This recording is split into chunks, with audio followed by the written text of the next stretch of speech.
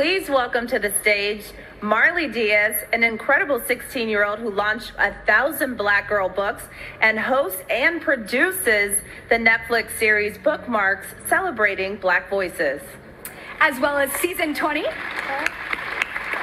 We're also welcoming season 20 winner of The Voice on NBC 10, Philly's own Cam Anthony. I know we were all voting for him as they read excerpts from the Declaration of Independence. When in the course of human events, it becomes necessary for one people to dissolve the political bands which have connected them with another and to assume among the powers of the earth the separate and equal station to which the laws of nature and of nature's God entitle them.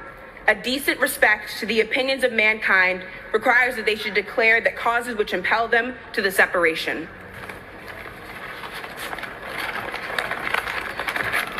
We hold these truths to be self evident that all men are created equal, that they are endowed by their Creator with certain unalienable rights, that among these are life, liberty, and the pursuit of happiness.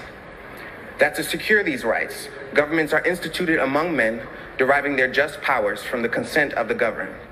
That whenever any form of government becomes destructive of these ends, it is the right of the people to alter or to abolish it.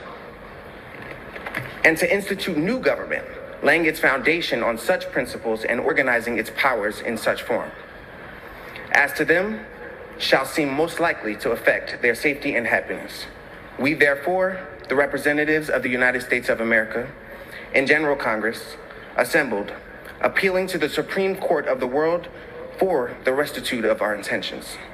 Do in the name and by the authority of the good people of these colonies, solemnly publish and declare that these United Colonies and are out of, um, my apologies, that these united colonies are and ought of right to be free and independent states.